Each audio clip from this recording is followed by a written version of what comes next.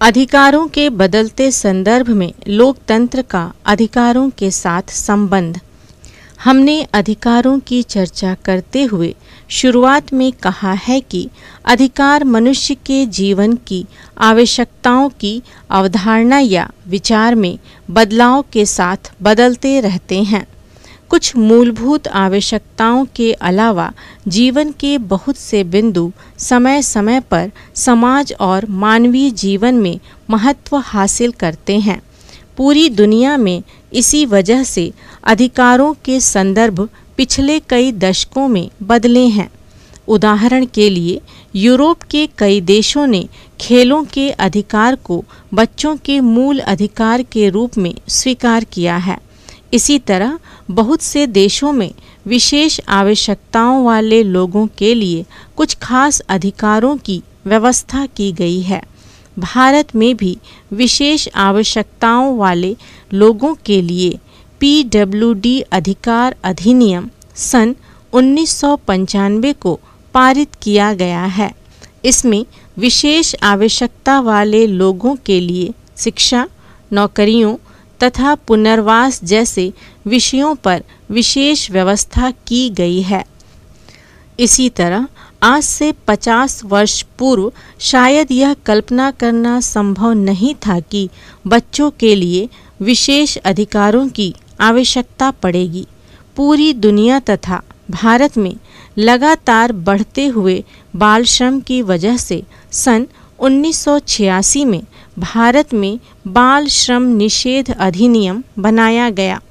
इसका उद्देश्य 14 वर्ष से कम आयु के बच्चों को खतरनाक माने जाने वाले कामों में लगाए जाने से रोकना था। जन सूचना अधिकार अधिनियम सन 2005 को भी अधिकारों के बदलते संदर्भ और अधिकारों के बढ़ते दायरों के रूप में देखा जा सकता है।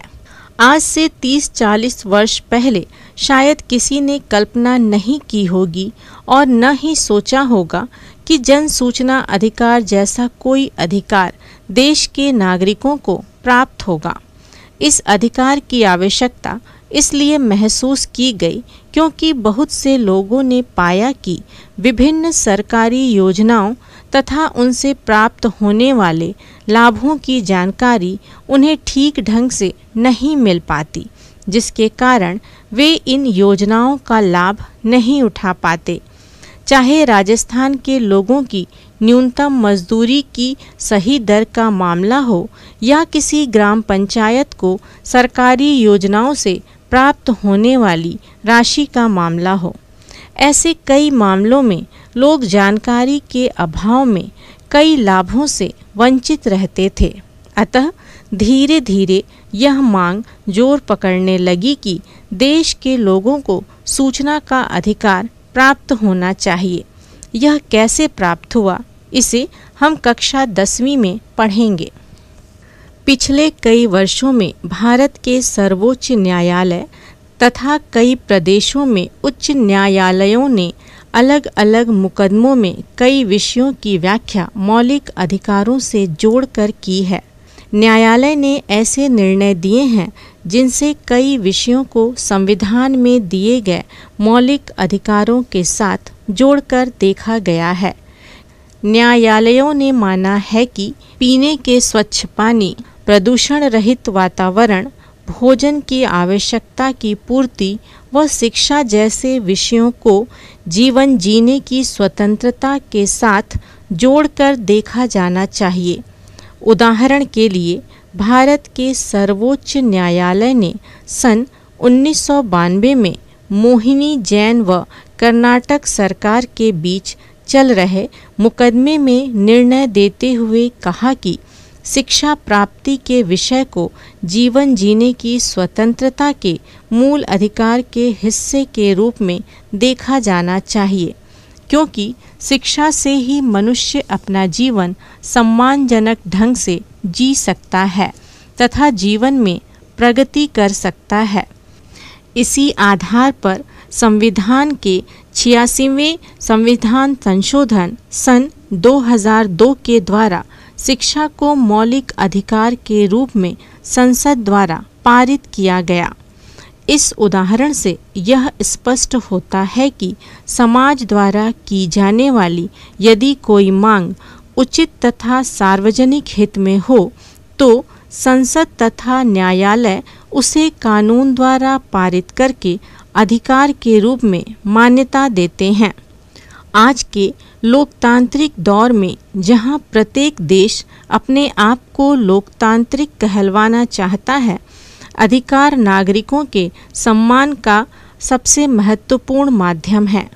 शासन के निकायों के अलावा ऐसे बहुत सी सार्वजनिक संस्थाएँ व संगठन बनाए गए हैं जो नागरिकों के अधिकार को लागू करवाने का प्रयास करते हैं।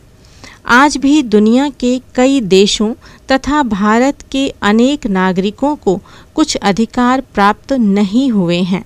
लोगों के जीवन की बदलती एवं बढ़ती हुई आवश्यकताओं के अनुसार नागरिकों के द्वारा नए नए अधिकारों की मांग की जा रही है। इसी वजह से अधिकारों का दायरा बढ़ता जा रहा है। अभी भी लोग अधिकारों को प्राप्त करने के लिए संघर्ष कर रहे हैं। यहाँ नागरिकों की ज़िम्मेदारी बनती है कि वे अधिकारों के महत्व को समझें तथा अपने अधिकारों को हासिल करने की पूरी कोशिश करें। नागरिकों का अधिकारों के लिए सजग रहना इसलिए भी महत्वपूर्ण है ताकि कोई भी सरकार निरंकुश व तानाशाह न बन सके। पता, राष्ट्रीय मानव अधिकार आयोग, मानव अधिकार भवन, block C G P O complex I N A नई Delhi, phone number zero one one two four six five one three three zero.